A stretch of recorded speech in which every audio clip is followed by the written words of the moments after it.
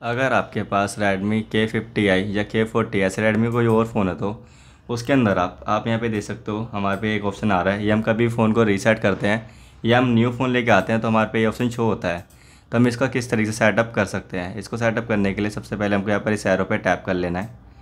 उसके बाद आपको यहाँ पर लैंग्वेज ले लेनी है आपको हिंदी या इंग्लिश। तो यहाँ पर हम इंग्लिश पे टैप करके और यहाँ पर नेक्स्ट कर देना है। उसके बाद आप यहाँ पर रीज़न पे सिलेक्ट कर लोगे तो मैं यहाँ पर इंडिया करके और यहाँ पे नेक्स्ट कर देता हूँ। उसके बाद आपको थोड़ा सा वेट कर लेना है। फिर उसके बाद आपको यहाँ पर इस वाले ऑप्शन पे चेक मार्क सेंड कर देना है और फिर से आपको नेक्स्ट कर देना है।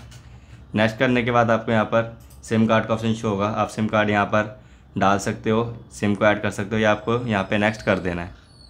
उसके बाद आप यहाँ पे चाहो तो वाईफाई को कनेक्ट कर सकते हो। अगर आपको स्किप करना है तो आप स्किप भी कर सकते हो इस तरीके से। और यहाँ पर आपको नीचे जाना है। सेट के ऑप्शन पे टैप कर देना है। आपको यहाँ पर स्क्रीन लॉक चाहिए फिंगरप्रिंट फेस लॉक तो आप यहाँ पे कर सकते हो, वरना आप यहाँ पे भी स्किप कर सकते हो। उसके बाद हमें यहाँ पर थोड़ा सा वेट कर लेना है। उसके बाद हमें यहाँ पर नेक्स्ट कर देना है नेक्स्ट कर देना है और यहाँ पर एग्री कर देना है। आपको यहाँ पर क्लासिक चाहिए या एपडोर तो मैं यहाँ पर एपडोर पर टैप करके और नेक्स्ट कर देना है। उसके बाद थोड़ा सा वेट कर लेना है।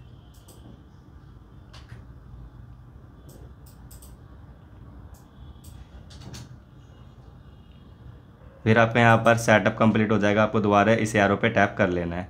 जैसे इस पर टैप करोगे, उसके बाद आपका फ़ोन का सेटअप है, वो हो जाएगा। तो इस तरीके से अपने फ़ोन के अंदर भी फ़ोन सेटअप कर सकते हो। अगर वीडियो अच्छी लगी तो वीडियो को लाइक शेयर सब्सक्राइब करें। मिलते हैं नेक्स्ट वीडियो में, जब तक के लिए बाय